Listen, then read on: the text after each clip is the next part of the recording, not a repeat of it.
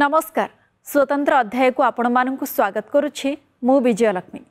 ପବିତ୍ର ଶୀତଳ ଷଷ୍ଠୀ ଯାତ୍ରା ଶିବ ଶକ୍ତି ଉପାସନାର ଅନନ୍ୟ ପର୍ବ।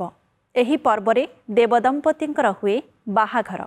ଆମ ଲୋକ ସଂସ୍କୃତିରେ ଦେବଦମ୍ପତିଙ୍କ ବିବାହ ଭକ୍ତଜନଙ୍କ ପାଇଁ ଆଣିଦିଏ ଦିବ୍ୟ ଅନୁଭବ।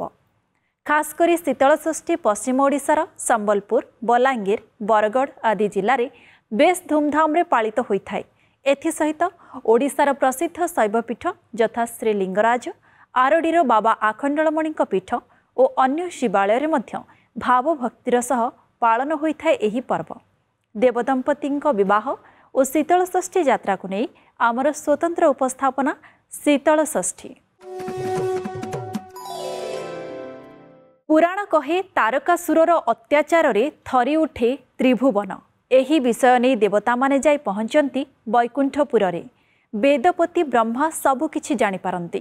ମାତ୍ର ଶିବ ପାର୍ବତୀଙ୍କ ଔରସରୁ ଜନ୍ମିତ ସନ୍ତାନ ତାରକାସୁରକୁ ବଧ କରିବ ବୋଲି ବେଦପତି ବ୍ରହ୍ମା କୁହନ୍ତି।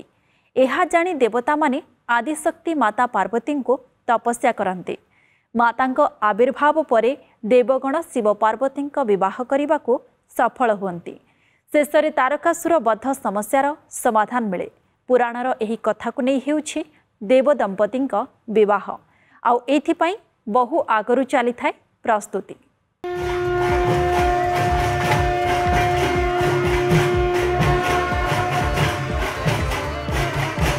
ପବିତ୍ର ଶୀତଳଷଷ୍ଠୀ ଯାତ୍ରା। ଓଡ଼ିଶାରେ ପାଳିତ ଅନେକ ଯାତ୍ରା ମଧ୍ୟରୁ ଏହି ଯାତ୍ରା ଅନ୍ୟତମ। ଶିବ ଓ ସତୀଙ୍କ ବିବାହ ଉତ୍ସବକୁ ନେଇ ଅନୁଷ୍ଠିତ ହୁଏ ଶୀତଳଷଷ୍ଠୀ। ଖରା ତାତିରୁ ମୁକ୍ତି ପାଇଁ ସକଳ ଜୀବଜଗତ ଅପେକ୍ଷାରେ ରହିଥାନ୍ତି। ଗ୍ରୀଷ୍ମ ଋତୁ ପରେ ଆସିବାକୁ ଥାଏ ବର୍ଷା ଋତୁ। ଏହି ସମୟରେ ଆକାଶରେ ଭାସି ବୁଲୁଥାଏ ଦୋଳା ଦୋଳା ମେଘ। ପ୍ରକୃତିର ଏମିତି ଏକ ଶୀତଳ ପରିବେଶ ଭିତରେ ସମ୍ବଲପୁରରେ ଅନୁଷ୍ଠିତ ହୁଏ ଦେବଦମ୍ପତିଙ୍କ ବିବାହ।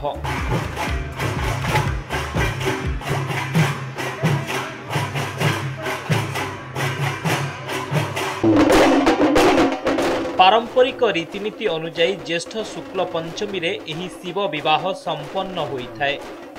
ହିନ୍ଦୁ ରୀତିନୀତି ଅନୁସାରେ କନ୍ୟା ଖୋଜା ନିର୍ବନ୍ଧ ବିବାହ ପାଇଁ ନିମନ୍ତ୍ରଣ ପତ୍ର ବଣ୍ଟନ ବିବାହ ଉତ୍ସବ ଓ କନ୍ୟାଦାନ ସହ କନ୍ୟା ବିଦାୟ ଆଦି କାର୍ଯ୍ୟ ଅନୁଷ୍ଠିତ ହୋଇଥାଏ।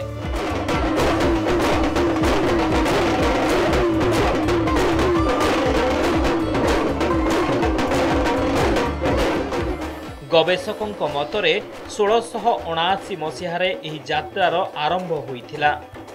କୁହାଯାଏ ଚୌହାନ ରାଜବଂଶର ସୁଶାସକ ଥିଲେ ବଳରାମ ଦେଓ। ସେ ଥିଲେ ବିଷ୍ଣୁ ଭକ୍ତ। ଥରେ ରାଜା ପୁରୀ ରଥଯାତ୍ରା ବୁଲି ଆସିଥିଲେ। ଯାତ୍ରା ବୁଲି ଦେଖିବା ପରେ କୋଶଳ ରାଜ୍ୟରେ ଏଭଳି ଏକ ଯାତ୍ରା କରିବାକୁ ସେ ମନ ବଳାଇଥିଲେ।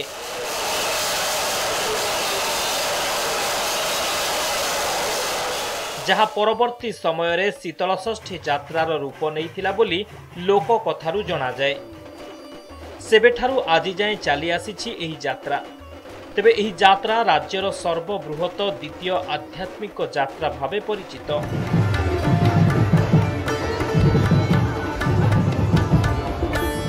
ପବିତ୍ର ଅକ୍ଷି ତୃତୀୟା। ଏହି ଦିନଠାରୁ ଆରମ୍ଭ ହୋଇଥାଏ ଦେବଦମ୍ପତିଙ୍କ ବିବାହ ଉତ୍ସବ ପାଇଁ ପ୍ରସ୍ତୁତି ପର୍ବ। ବୈଶାଖ ଶୁକ୍ଳ ତୃତୀୟା ଦିନ ଥାଳଉଠା ପର୍ବ ଅନୁଷ୍ଠିତ ହୋଇଥାଏ। ଥାଳଉଠା ପର୍ବ ଦିନ କନ୍ୟାପକ୍ଷ ନିର୍ଦ୍ଧାରଣ କରାଯାଏ। ଦେବୀ ପାର୍ବତୀଙ୍କ ପିତାମାତା କିଏ ହେବେ ତାହା ବିଧିବଦ୍ଧ ଭାବେ ସ୍ଥିର ହୁଏ। ମାତା ପାର୍ବତୀଙ୍କ ପିତାମାତା କନ୍ୟାକୁ ବିବାହ ଦେବା ପାଇଁ ସମସ୍ତ ପ୍ରକାର ଆୟୋଜନ ଆରମ୍ଭ କରିଦିଅନ୍ତି।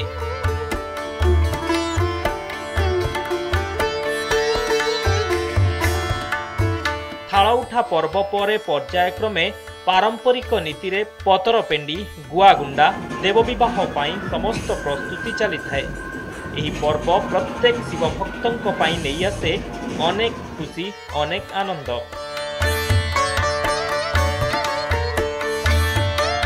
ଦେବଦେବ ମହାଦେବଙ୍କ ଶୁଭ ବିବାହ ଉତ୍ସବ ଏଥିପାଇଁ ବେଶ୍ ଆନନ୍ଦ ଉତ୍ସାହର ସହ ଆରମ୍ଭ ହୋଇଥାଏ ପ୍ରସ୍ତୁତି ପର୍ବ ସବୁଠୁ ବଡ଼ ଦାୟିତ୍ୱ ଥାଏ କନ୍ୟା ପିତାମାତାଙ୍କ କାନ୍ଧରେ।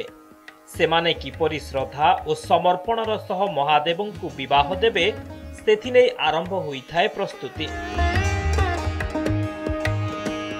ଏଥିପାଇଁ କନ୍ୟା ପିତା ଶାଢ଼ୀ ଚୁଡ଼ି ପଲଙ୍କ ଠାରୁ ଆରମ୍ଭ କରି ସମସ୍ତ ବାହାଘର ସାମଗ୍ରୀ କିଣିଥାନ୍ତି। ପୁରା ଘର ପରିବେଶରେ ବିବାହ ଉତ୍ସବର ମାହୋଲ। ଘରକୁ ବନ୍ଧୁବାନ୍ଧବମାନେ ଆସିଥାନ୍ତି। ନନ୍ଦପଡ଼ାର ବାଲୁଙ୍କେଶ୍ୱର ବାବାଙ୍କ ବିବାହ ଝାଡ଼ୁଆପଡ଼ାର ଲୋକନାଥ ବାବା ମୁଦିପଡ଼ାର ଜାଗେଶ୍ୱର ବାବାଙ୍କ ପାଇଁ କନ୍ୟା ପିତାମାତାମାନେ ବିବାହ ଆୟୋଜନ କରିଥାନ୍ତି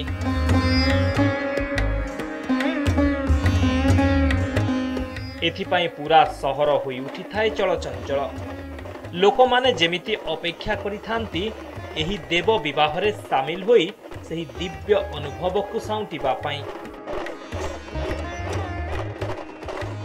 ବିଭିନ୍ନ ଯାତ୍ରା କମିଟି କନ୍ୟା ପିତାମାତା ଜିଲ୍ଲା ପ୍ରଶାସନ ଏପରିକି ପଡ଼ାର ସମସ୍ତେ ଯାତ୍ରାକୁ କିପରି ଶୃଙ୍ଖଳିତ କରିବେ ସେଥିରେ ଲାଗି ପଡ଼ିଥାନ୍ତି ଜୋରସୋରରେ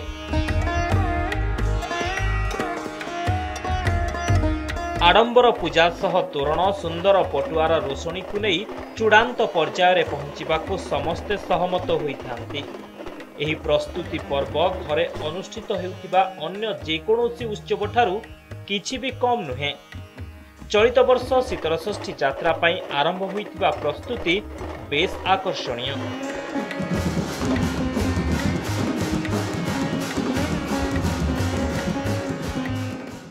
ମୁଇଁ କନ୍ୟା ପିତା ହେଇଛି ଚଳିତ ବର୍ଷ ଲାଗି ମା ଜଗଜ୍ଜନନୀ ପାର୍ବତୀଙ୍କର ମୁଦିପଡ଼ା ଜାଗେଶ୍ୱର ବାବାଙ୍କର ସାଙ୍ଗରେ ଆମର ଶୀତଳ ଷଷ୍ଠୀରେ ବିବାହ ସମ୍ପନ୍ନ କରାହେବା ଆ- ଆମର ମାନଙ୍କର ତ ବହୁତ ଆଗରୁ ଇଚ୍ଛା ଥିଲା ଯେ ଆମ ଘରେ ଶୀତଳ ଷଷ୍ଠୀ ବିହା ହଉ ବୋଲିକରି ଆଉ ଇ ବର୍ଷ ଯେତେବେଳେ ଆ- ଆମେ କନଫର୍ମ ହେଲୁ ଯେ ଆମେ ମାତା ପାର୍ବତୀଙ୍କର ମାତା ପିତା ହେମୁ ବୋଲିକରି ସେତେବେଳେ ଆମକୁ ବହୁତ ଖୁସି ଲାଗଲା ବହୁତ ଗର୍ବିତ ବି ଲାଗଲା ଯେ ନାଇଁ ନାଇଁ ଆମେ ବହୁତ ଭାଗ୍ୟବାନ ଲୋକ ଆମେ ପାଇଛୁ ଏଥର ଅପରଚ୍ୟୁନିଟି ମାଙ୍କର ପିତାମାତା ହେବାର୍ ଲାଗି। ଆଉ ସେଥିର୍ଲାଗି ଆମେ ବହୁତ ଖୁସି ଆମର ବନ୍ଧୁ ସାହି ପଡ଼ିଶା ଏବଂ ପରିଜନ ଗୁଡ଼ାକ ଯେନ୍ମାନେ ଅଛନ୍ ବନ୍ଧୁ ବାନ୍ଧବ ସମସ୍ତେ ବହୁତ ଖୁସି ଯେ ନାଇଁ ନାଇଁ ଆପଣମାନେ ଏଥର ବହୁତ ଭାଗ୍ୟବାନ ଲୋକ ସେଥିର୍ଲାଗି ମାଙ୍କର ବିବାହ କାର୍ଯ୍ୟ ଲାଗି ଆପଣମାନେ ମନୋନୀତ ହେଇଛନ୍ ବୋଲିକରି କହିଲେ ସମସ୍ତେ। ମା ପାର୍ବତୀଙ୍କୁ ଝିଅ କରି ନେବାର୍ ଲାଗି ଦୁନିଆର ପ୍ରାୟ ସ- ସବୁ ଲୋକମାନଙ୍କର ଇଚ୍ଛା ଥିସି କେମିତି ତାଙ୍କୁ ଝିଅ ରୂପେ ପାଇମୁ ବୋଲିକିରି। ଆଉ ସେ ଭାଗ୍ୟଟା ଆମକୁ ମିଲୁଛେ ମୋତେ ମିଲିଛେ ସାର୍କୁ ମିଲିଛେ ହେଥିଲାଗି ଆମେ ବହୁତ ଖୁସି ଆମେ ବହୁତ ଗର୍ବିତ ଆଉ ଆମେ ବହୁତ ସୌଭାଗ୍ୟବାନ।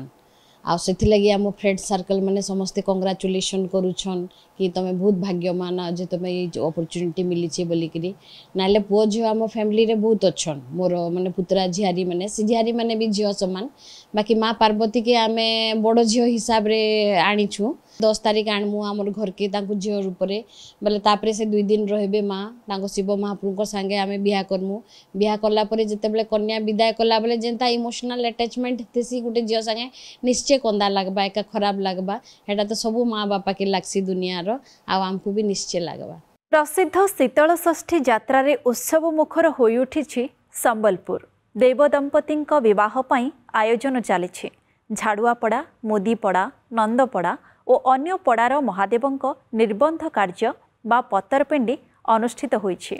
ରୀତିନୀତି ଅନୁଯାୟୀ ଏହି ଶୁଭ କାର୍ଯ୍ୟରେ ସାମିଲ ହୋଇଥାନ୍ତି ବରପକ୍ଷ ଓ କନ୍ୟାପକ୍ଷ ପିତାମାତା। ପତରପେଣ୍ଡି ଉତ୍ସବ ପରେ ଭୋଳା ଶଙ୍କରଙ୍କର ଗୁଆଗଣ୍ଡା ଉତ୍ସବ ଅନୁଷ୍ଠିତ ହୋଇଛି।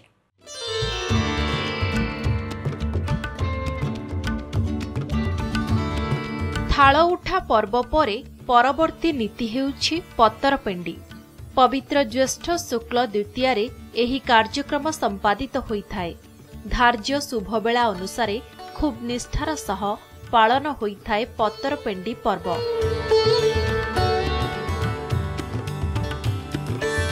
ଏହି ଦିନ ଝାଡ଼ୁଆପଡ଼ାର ଲୋକନାଥ ବାବାଙ୍କ ମନ୍ଦିରରୁ ବାହାରିଥାଏ ଶୋଭାଯାତ୍ରା।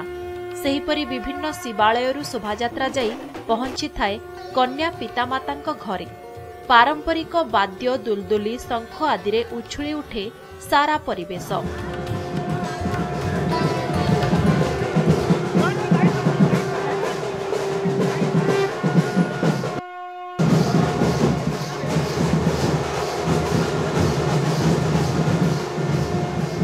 ବର ପିତାମାତା କନ୍ୟା ପିତାଙ୍କର ଘରେ ପହଞ୍ଚି କନ୍ୟାର ହାତ ମାଗିଥାନ୍ତି। ପରମ୍ପରା ଅନୁସାରେ ଝିଅର ପିତାମାତା ପୁଅର ଯୋଗ୍ୟତା ଉପରେ ପ୍ରଶ୍ନ ଉଠାଇବାରୁ ସାଙ୍ଗରେ ଆସିଥିବା ସପ୍ତଋଷି ବେଦ ପାଠ କରି ପୁଅଙ୍କ ଯୋଗ୍ୟତା ସମ୍ପର୍କରେ ବୁଝାଇଥାନ୍ତି। ଏହାପରେ କନ୍ୟା ପିତା ବିବାହ ପାଇଁ ରାଜି ହୁଅନ୍ତି। ବର ପିତା କନ୍ୟା ପିତାଙ୍କୁ ସରଗୀ ପତ୍ର ବା ଶାଳପତ୍ର ପେଣ୍ଡି ଦେଇ ବିଧି ଅନୁସାରେ ନିର୍ବନ୍ଧ କାର୍ଯ୍ୟ ସମ୍ପନ୍ନ କରିଥାନ୍ତି। ଏହି ଦିନ ପତରପେଣ୍ଡି କାର୍ଯ୍ୟ ଭକ୍ତି ସହକାରେ ମୁଦିପଡ଼ା ବାବା ଜାଗେଶ୍ୱରଙ୍କର ସମ୍ପନ୍ନ ହୋଇଥାଏ। ପତ୍ରପେଣ୍ଡି ଦେଇ କନ୍ୟା ସ୍ଥିର ହେଉଥିବାରୁ ସେଥିପାଇଁ ଏହି ଉତ୍ସବର ନାମ ହେଉଛି ପତରପେଣ୍ଡି। ନନ୍ଦପଡ଼ାର ବାଲୁଙ୍କେଶ୍ୱର ବାବାଙ୍କ ପତ୍ରପେଣ୍ଡି ଜ୍ୟେଷ୍ଠ ପ୍ରତିପଦା ଝାଡୁଆପଡ଼ାର ଲୋକନାଥ ବାବା ଓ ମୁଦିପଡ଼ା ଜାଗେଶ୍ୱର ବାବାଙ୍କ ପତ୍ରପେଣ୍ଡି ଜ୍ୟେଷ୍ଠ ତୃତୀୟା ତିଥିରେ ପାଳନ ହୋଇଥାଏ। ଆମେ ସପ୍ତ ଋଷିଗଣ ଶିବଙ୍କର ଆଜ୍ଞା ପାଇକରି ଏବଂ ତାଙ୍କର ଆଦେଶରେ ହିମାଳୟ ପୁରୀକୁ ଆଜି ଆସିଥିଲୁ। ଏଇଠି ହିମାଳୟ ପୁରୀରେ ହିମାଳୟ ରାଜା ଏବଂ ତାଙ୍କର ପତ୍ନୀ ମେନାଙ୍କ ସହିତ ବିଭିନ୍ନ ପ୍ରକାର କଥୋପକଥନ କଲା ପରେ ଶିବଙ୍କର ଗୁଣ ଗ୍ରାମ ରାଶି ନକ୍ଷତ୍ର ତାଙ୍କର ରହିବା ସ୍ଥାନ ଇତ୍ୟାଦି ସେମାନେ ଜାଣିଲା ପରେ ତାଙ୍କର ଅଳିଅଳ କନ୍ୟା ଦେବୀ ପାର୍ବତୀଙ୍କୁ ଶିବଙ୍କ ସହିତ ବିବାହ କରିବା ପାଇଁ ରାଜି ହୁଅନ୍ତି। ରାଜି ପଡ଼ିଲା ପରେ ଆମେ ଯେଉଁ ଶାଳ ପତ୍ର ବିଡ଼େ ଧରିକି ଆସିଥାଉ ତାକୁ ତାର ସନ୍ତକ ସ୍ୱରୂପ ତାକୁ ଦିଆଯାଏ ଏବଂ ସେ ଶାଳ ପତ୍ର ବିବାହ ଶେଷ ପର୍ଯ୍ୟନ୍ତ ରଖାଯାଏ ତାକୁ ପୂଜା କରାଯାଏ। ପତରପେଣ୍ଡି ଉତ୍ସବ ପରେ ପାଳନ ହୋଇଥାଏ ଗୁଆଗୁଣ୍ଡା ଉତ୍ସବ। ବିଧି ମୁତାବକ ହୋଇଥାଏ ବାଲକେଶ୍ୱର ବାବା ଓ ଜାଗେଶ୍ୱର ବାବାଙ୍କ ଦେବ ନିମନ୍ତ୍ରଣ କାର୍ଯ୍ୟକ୍ରମ। ଏକ ବର୍ଣ୍ଣାଢ଼୍ୟ ଶୋଭାଯାତ୍ରାରେ ବାଲୁଙ୍କେଶ୍ୱରଙ୍କ ପକ୍ଷରୁ ବିଭିନ୍ନ ଦେବାଳୟକୁ ନୃସିଂହ ମହାପ୍ରଭୁ ଯାଇଥାନ୍ତି। ଗୁଆ ଦେଇ ଦେବତାମାନଙ୍କୁ ବିବାହ କାର୍ଯ୍ୟରେ ଯୋଗ ଦେବା ପାଇଁ ନିମନ୍ତ୍ରଣ କରିଥାନ୍ତି। ପାରମ୍ପରିକ ରୀତିନୀତି ପୂଜାର୍ଚ୍ଚନା ପରେ ଏକ ସୁସଜ୍ଜିତ ବିମାନରେ ମହାପ୍ରଭୁ ନୃସିଂହ ବିଭିନ୍ନ ମନ୍ଦିରକୁ ଯାଇଥାନ୍ତି। ପୁଣି ଗୁଆ ହଳଦୀ ମିଠା ଖଜା ଦେଇ ଦେବ ନିମନ୍ତ୍ରଣ କରିଥାନ୍ତି। ନନ୍ଦପଡ଼ାରେ ଏହି ନୀତିକୁ ନୃସିଂହ ନିଉତା କହିଥାନ୍ତି। ସେହିପରି ମୁଦିପଡ଼ାର ଜାଗେଶ୍ୱର ଓ ଝାଡୁଆପଡ଼ାର ଲୋକନାଥ ଦେବଙ୍କ ପକ୍ଷରୁ ଶ୍ରୀ ହନୁମାନ ଜ୍ୟେଷ୍ଠ ଶୁକ୍ଳ ଚତୁର୍ଥୀରେ ଦେବଦେବୀଙ୍କୁ ଗୁଆ ଦେଇ ନିମନ୍ତ୍ରଣ କରିଥାନ୍ତି। ଢୋଲ ନିଶାନ ତାସା ଦୁଲଦୁଲିରେ କମ୍ପି ଉଠିଥାଏ ପରିବେଶ ଏହି ଭବ୍ୟ ପଟୁଆରରେ ସମ୍ବଲପୁରବାସୀ ସାମିଲ ହୋଇ ନିଜକୁ ଧନ୍ୟ ମନେ କରିଥାନ୍ତି ବେଶ୍ ପାରମ୍ପରିକ ରୀତିରେ ଶିବ ପାର୍ବତୀଙ୍କ ବିବାହ ହୁଏ ଭାବ ଭକ୍ତିରେ ଉଛୁଳି ଉଠେ ପରିବେଶ ମହାଦେବଙ୍କୁ ବରବେଶରେ ଦେଖି ସ୍ୱାଗତ କରିଥାନ୍ତି କନ୍ୟା ପିତାମାତା ପାର୍ବତୀଙ୍କ ସହ ଶିବଙ୍କ ହାତଗଣ୍ଠି ପଡ଼େ ଏହାପରେ କନ୍ୟା ପିତାମାତା ଘରୁ ବିଦାୟ ନିଅନ୍ତି ହର ପାର୍ବତୀ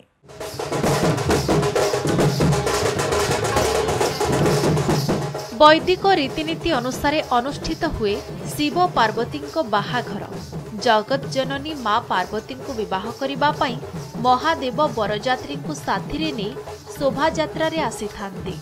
ତେବେ ମୁଦିପଡ଼ାର ଜାଗେଶ୍ୱର ବାବା ବର ସାଜି ଆସିବା ପୂର୍ବରୁ ଅଭିଷେକ ହୋଇଥାନ୍ତି। ମା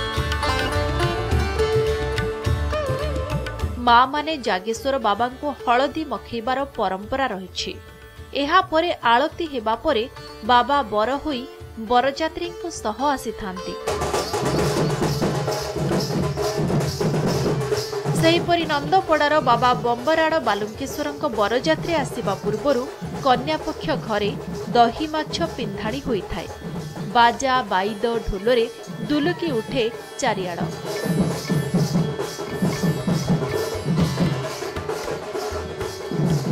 ଭକ୍ତ ଦର୍ଶନାର୍ଥୀ ଓ ଶ୍ରଦ୍ଧାଳୁ ସାମିଲ ହୁଅନ୍ତି ବରଯାତ୍ରୀରେ। ଗୀତ ନୃତ୍ୟ ବାଦ୍ୟର ତାଳେ ତାଳେ ପ୍ରଭୁ ବାହାରନ୍ତି କନ୍ୟା ଘରକୁ ସେପଟେ ଜ୍ୱାଇଁଙ୍କୁ ସ୍ୱାଗତ କରିବା ପାଇଁ ଅପେକ୍ଷା କରିଥାନ୍ତି କନ୍ୟା ପକ୍ଷ ମାତା ପାର୍ବତୀଙ୍କ ପିତାମାତା ବନ୍ଧୁବାନ୍ଧବ ଜ୍ୱାଇଁଙ୍କୁ ପାଛୋଟି ନେବା ପାଇଁ ଯେମିତି ଉତ୍ସୁକତାର ସହ ଅପେକ୍ଷା କରିଥାନ୍ତି। ନନ୍ଦପଡ଼ା ମୁଦିପଡ଼ା ଓ ଝାଡ଼ୁଆପଡ଼ାରୁ ଏହି ଦେବ ବର ଶୋଭାଯାତ୍ରା ଆସି କନ୍ୟା ଘରେ ପହଞ୍ଚିଲା ପରେ ବୈଦିକ ମତେ ବାହାଘର ଭକ୍ତି ଓ ଶ୍ରଦ୍ଧାର ସହ ହୋଇଥାଏ।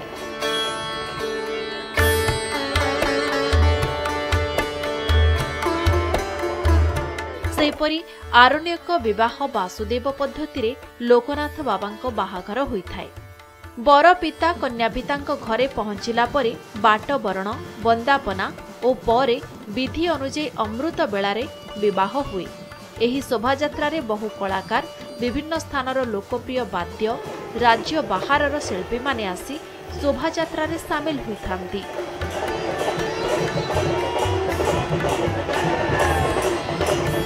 ବାହାଘର ଶେଷ ହେବା ପରେ ମନ୍ଦିରକୁ ବାହୁଡ଼ିଥାନ୍ତି ଯୁଗଳ ମୂର୍ତ୍ତି ଦେବଦମ୍ପତି। କନ୍ୟା ପାର୍ବତୀଙ୍କୁ ସାଧାରଣ ଲୋକାଚାର ପ୍ରଥା ଅନୁଯାୟୀ ବିଦାୟ ଦିଆଯାଇଥାଏ। ଦେବଦମ୍ପତି ଆଶୀର୍ବାଦ ଦେଇ ଶୋଭାଯାତ୍ରାରେ ନଗର ପରିକ୍ରମା କରନ୍ତି। ବାଦ୍ୟ ନୃତ୍ୟରେ ଦୁଲୁକି ଉଠେ ସମ୍ବଲପୁର। ଏହି ପଟୁଆରରେ ସାମିଲ ହୋଇଥାନ୍ତି ହଜାର ହଜାର ସମ୍ବଲପୁରବାସୀ। ଏହି ଭିଡ଼ ଭିତରେ ଯାହା ସମସ୍ତଙ୍କ ଦୃଷ୍ଟି ଆକର୍ଷଣ କରେ ତାହା ହେଲା କିନ୍ନରମାନଙ୍କର ବହୁ ସଂଖ୍ୟାରେ ଯୋଗଦାନ।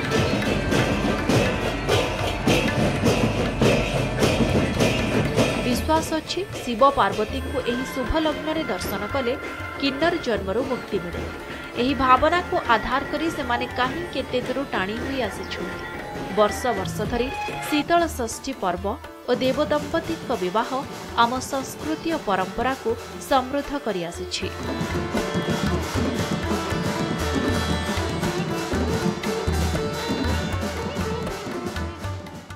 ଶିବ ପାର୍ବତୀଙ୍କ ବାହାଘର। ପ୍ରସିଦ୍ଧ ଶୀତଳଷଷ୍ଠୀ ଯାତ୍ରାରେ ସମ୍ବଲପୁର ଚଳଚଞ୍ଚଳ ହେବା ପରି ଏକାମ୍ର କ୍ଷେତ୍ରର ଅଧିପତି ଶ୍ରୀଲିଙ୍ଗରାଜଙ୍କ ହୋଇଥାଏ ଶୁଭ ବିବାହ। ଶ୍ରୀଲିଙ୍ଗରାଜ ବରଯାତ୍ରୀ ସହ ଯାଇଥାନ୍ତି କେଦାରଗୌରୀ ମନ୍ଦିରକୁ। ହରଗୌରୀଙ୍କ ହାତ ଗଣ୍ଠି ପରେ ଦେବଦମ୍ପତି ଫେରିଥାନ୍ତି ମନ୍ଦିରକୁ। ଶ୍ରୀଲିଙ୍ଗରାଜଙ୍କ ପରି ଆରଡ଼ିରେ ମଧ୍ୟ ହରଗୌରୀଙ୍କ ଅନୁଷ୍ଠିତ ହୁଏ ଶୁଭ ବିବାହ।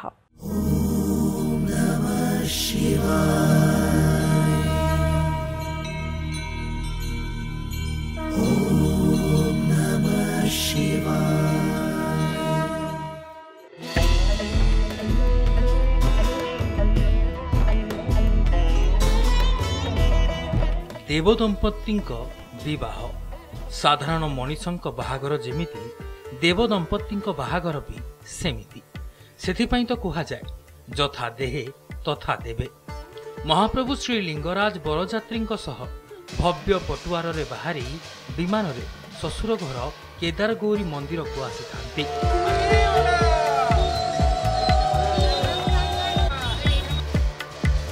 ଘଣ୍ଟ ଘଣ୍ଟା ହୁଳୁହୁଳି ଭିତରେ ବାବାଙ୍କ ଶୋଭାଯାତ୍ରାରେ ସାମିଲ ହୋଇଥାନ୍ତି ଭକ୍ତ ଓ ସେବାୟତ। ସେପଟେ ଅନନ୍ତ ବାସୁଦେବଙ୍କ ସହ ପାଲିଙ୍କିରେ ଆସିଥାନ୍ତି ମାତା ପାର୍ବତୀ। ପାର୍ବତୀଙ୍କ ସହ ଥାନ୍ତି ଜୟା ବିଜୟା। ପରମ୍ପରା ଅନୁସାରେ ଜ୍ୟେଷ୍ଠ ଶୁକ୍ଳ ପଞ୍ଚମୀ ତିଥିରେ ଶ୍ରୀ ଲିଙ୍ଗରାଜଙ୍କ ସହିତ ମାତା ପାର୍ବତୀଙ୍କ ହୁଏ ବାହାଘର। କେଦାରଗୌରୀ ମନ୍ଦିରରେ ଦେବଦମ୍ପତି ପହଞ୍ଚିଲା ପରେ ବିଧି ଅନୁସାରେ ହୁଏ ବାହାଘର ପଡ଼ିଥାଏ ହାତ ଗଣ୍ଠି ଏହାପରେ ଅନୁଷ୍ଠିତ ହୁଏ ପୂଜାନୀତି। ମାଙ୍କ ପାଣି ଗ୍ରହଣ ପରେ ଜ୍ୱାଇଁ ଓ ବରଯାତ୍ରୀଙ୍କୁ ଶ୍ୱଶୁର ଘର ତରଫରୁ ଅଭ୍ୟର୍ଥନା ଦିଆଯାଇଥାଏ। ଏହାପରେ ଦେବଦମ୍ପତି ଲିଙ୍ଗରାଜ ମନ୍ଦିରକୁ ପ୍ରତ୍ୟାବର୍ତ୍ତନ କରିଥାନ୍ତି। ମହାପ୍ରଭୁଙ୍କ ବାହାଘର ଦେଖି ବେଶ୍ ଆନନ୍ଦ ଲାଭ କରିଥାନ୍ତି ଭକ୍ତ ଓ ସେବାୟତ। ମହାପ୍ରଭୁ ଶ୍ରୀ ଲିଙ୍ଗରାଜଙ୍କ ପରି ବାବା ଆଖଣ୍ଡଳ ମଣିଙ୍କର ହୁଏ ବିବାହ ଉତ୍ସବ। ପାରମ୍ପରିକ ରୀତିନୀତି ଅନୁସାରେ ଏହି ବାହାଘର ମାତା ପାର୍ବତୀଙ୍କ ସହ ସମ୍ପନ୍ନ ହୋଇଥାଏ। ବରପିତା ଓ କନ୍ୟାପିତା ମଣି ବାବାଙ୍କ ଚଳନ୍ତି ପ୍ରତିମା ହରଗୌରୀଙ୍କୁ ଅଲଗା ଅଲଗା ପାଲିଙ୍କିରେ ଘରକୁ ନେଇଥାନ୍ତି। ହଳଦୀ ଚନ୍ଦନରେ ମଙ୍ଗୁଳା କାର୍ଯ୍ୟ ସମ୍ପନ୍ନ ହୁଏ। ମଣି ବାବାଙ୍କ ମନ୍ଦିରରେ ସମସ୍ତ ନୀତିକାନ୍ତି କରାଯାଏ। ବାହାଘର ଦିନ ମନ୍ଦିରରେ ସକାଳ ଧୂପ ପରେ ରୀତିନୀତି ଅନୁଯାୟୀ ଶ୍ରୀ ହନୁମାନ ପାଲିଙ୍କିରେ ଆସି ଆଖଣ୍ଡଳ ମଣିଙ୍କୁ ବରଣୀ କରିଥାନ୍ତି। ଏହାପରେ ଦିଅମଙ୍ଗୁଳା ନୀତି ଶେଷ ହୁଏ। ପରେ ଆଖଣ୍ଡଳ ମଣିଙ୍କ ଚଳନ୍ତି ପ୍ରତିମା ହର ବର ବେଶରେ ପାଲିଙ୍କିରେ ବିଜେ କରି ବିବାହ ନିମନ୍ତେ ମନ୍ଦିରକୁ ଯାଇଥାନ୍ତି। ସେଠାରେ ରୀତିନୀତି ଅନୁସାରେ ସମ୍ପନ୍ନ ହୋଇଥାଏ ବିବାହ କାର୍ଯ୍ୟ। ଦେବ ଦମ୍ପତିଙ୍କ ଏହି ଶୁଭ ବିବାହ ଦେଖି ଧନ୍ୟ ହୋଇଥାନ୍ତି ଶ୍ରଦ୍ଧାଳୁ ଭକ୍ତ ଓ ସେବାୟତ।